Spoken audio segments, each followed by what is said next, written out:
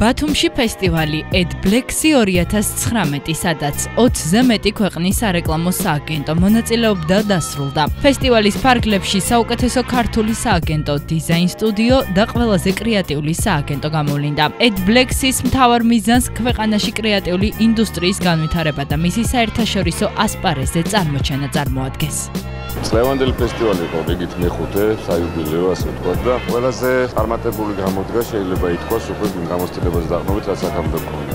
ბევრად მეტი სტუმარი იყო ჩამოსული, ბევრად მეტი ნამუშევარი იყო წარდგენილი საკონკურსო პროგრამაში. წელს ფესტივალზე წარვადგინეთ ძე ქართული პროექტი, რომელიც იყო ჩვენი პრობონო კამპანია ძეგვის თავშესაფრისთვის. და არ ვიცი, ალბათ ორმაგად გვიხარია და სამაგად, იმიტომ რომ მთელი გუნდი, მთელი სული და გული ჩართულები ვიყავით.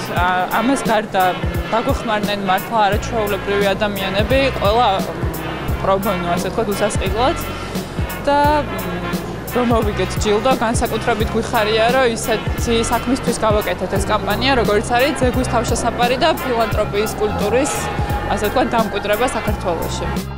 სარეკლამო ფესტივალ Ed Black-ი 2019-ის ნომინაციაში საუკეთესო სარეკლამო სააგენტო Vaskhod Agency-მ გაიმარჯვა. საუკეთესო ქსელური სააგენტო BBDO გრუპი გახდა, ხოლო წლის საუკეთესო კრეატიული სააგენტო Redberry.